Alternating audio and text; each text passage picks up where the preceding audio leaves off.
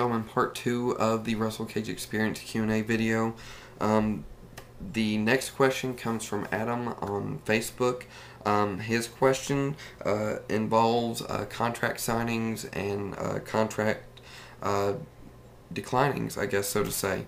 Um, he, he wants to know uh, my thoughts on Eugene being resigned, uh, Rob Conway turning down the WWE contract, as well as Bobby Lashley signing with TNA.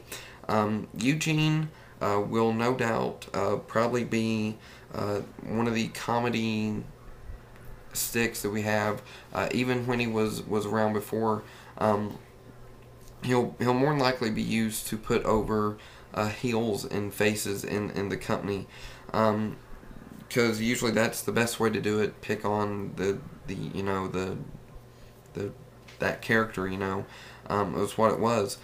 Um, he's he's being him.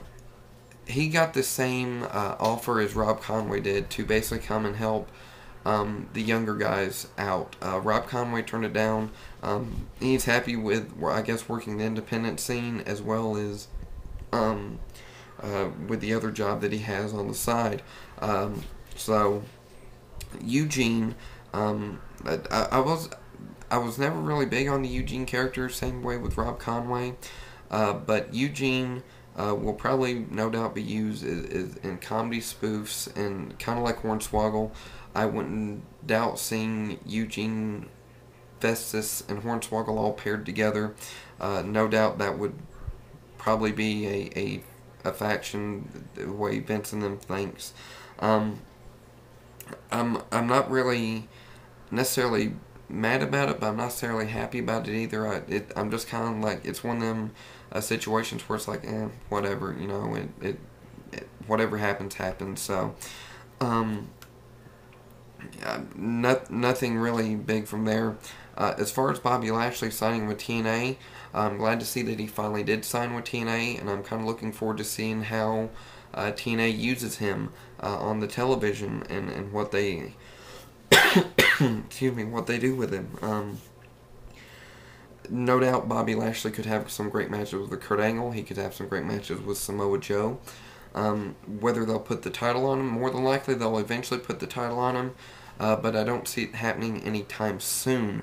Uh, so that's my thoughts on all those signings. Um, you know, uh, like I said, Eugene and Rob Conway, I could care less about them. You know, as as far as Bobby Lashley, I expect you know him to help out TNA a great deal, uh, especially with his MMA fan base that he has. Uh, that might carry over into TNA and bring over more fans. So uh, it might be a, a I, I think it's a good step for TNA. Uh, so thank you, Adam, for that question. Uh, Kingpin88 uh, asked me which Hardy do I like more. Um, and if I had to choose which Hardy I liked more, I'd probably have to go with Jeff uh, mainly because of the high flying and risk taking uh, factor that he has about him. Uh, Jeff Hardy, uh, you know, he goes out there and he lays it all on the line. Um, you can you can usually expect to have a, a decent match out of him. Um, not saying that Matt doesn't do that. Um, his, his matches with MVP were, were pretty good.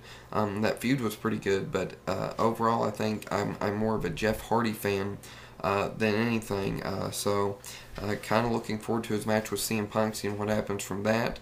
Um, whether Jeff will win the title or not, I'd say they're probably they're probably going to keep it on CM Punk and have him feud with John Morrison uh, later on down the road. So, uh, as far as which Hardy I like more, um, it's it's going to be Jeff in this case with that question. So Kingpin88, thank you for that question. Um, and Y2 Amber, the last question, uh, she wants to know what my current favorite finishing move is. Um, and if I had to do it this way, um, from WWE, uh, I would probably have to go with either uh, Starship Pain, uh, the Code Breaker, uh, or um, uh, can't remember it now. Uh, oh, Evan Bourne, how, uh, Evan Bourne shooting star press because those are all great, um, great moves, great finishing moves right there. Uh, and uh, close runner up would be uh, Dolph Ziggler's um, I, I, don't think he even has a name for it yet. Um, but and and of course, uh, Miz has got a new one, and um, if I'm not mistaken, somebody else had a new one that they they're doing. Uh, oh, oh, Sheamus. Uh, his his uh, kind of looks like a rock bottom into a backbreaker type deal. That those are some some of my top favorite moves in WWE. Uh, as far as TNA goes, uh, I'm I'm a big fan of the best moonsault ever, uh, and I'm a fan of the tag team finisher. Drinking While Investing from Robert Roode and James Storm. Those are two favorites of mine right there. Um, and especially since it's it's tag team wrestling, you know, hey, uh, I I have a love for it. So, uh, thank you all for sending in your questions. Uh, I enjoy doing these videos. Um, just send more in. Uh, I, I, will look forward to doing another TNA or a uh, another Q&A video here soon. Uh, so send them in to my either Twitter account or Facebook account, MySpace account, or YouTube account. Just shoot me a message. Um, and, and with that being said, thank you all for watching. Uh, greatly appreciated. I'm going to have a SmackDown review here uh, shortly. Uh, yes, it is daylight out. I've, I've actually already watched SmackDown. Um, I've already watched SmackDown, and uh, I will do a review, but I'll wait to post it after SmackDown goes off the air. So, uh, with that being said, this has been my Q&A video, guys. Thanks for watching, and thank you all for the questions, and for everybody that subscribed, thank you. Uh, keep sending subscribers in. If you enjoyed the video, go ahead and, and hit the subscribe button. Uh, and, uh, guys, take it easy, and peace out.